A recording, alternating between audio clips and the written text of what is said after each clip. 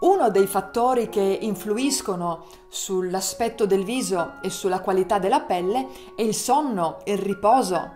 Sicuramente ti è capitato di andare a dormire tardi oppure di dormire male e il giorno dopo avevi le occhiaie o comunque un pessimo aspetto. E così?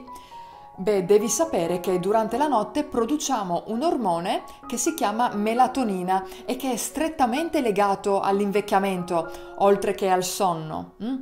Il massimo picco di produzione di melatonina avviene dall'1 alle 3 del mattino e per essere prodotta però c'è bisogno del buio totale perché anche un filo di luce può inibire il suo rilascio. Quindi, andando a dormire tardi, ci giochiamo la produzione di melatonina quotidiana e acceleriamo il processo di invecchiamento. E ricordati, per avere una bella pelle bisogna dormire al buio totale e nelle ore giuste.